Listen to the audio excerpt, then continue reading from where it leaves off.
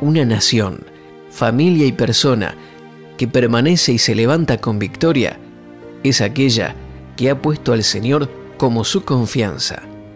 Dios te mostrará que todas las victorias que has logrado son un regalo del cielo, ahora y siempre.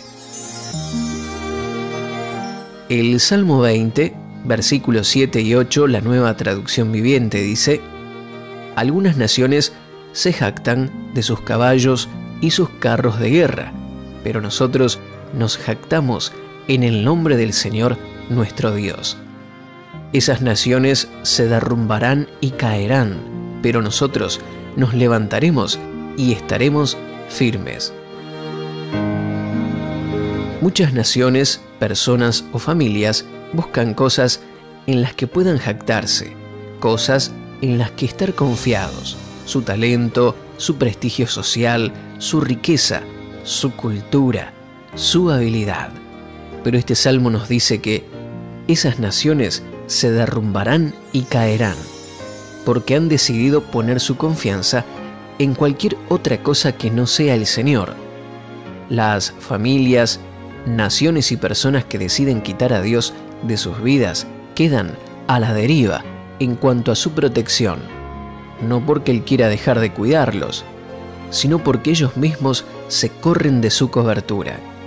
Van a intentar de muchas formas vivir mejor, ser felices, progresar, alcanzar sus metas. Pero una vida sin Dios es una vida de vacío y desesperanza.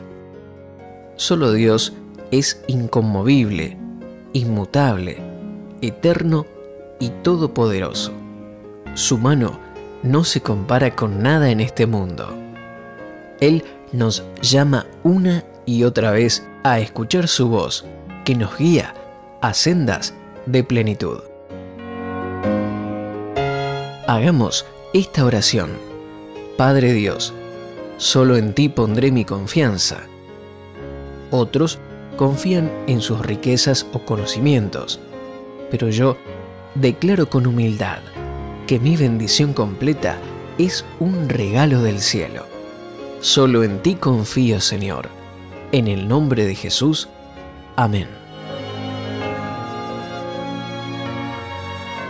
Gracias por compartir este tiempo con nosotros.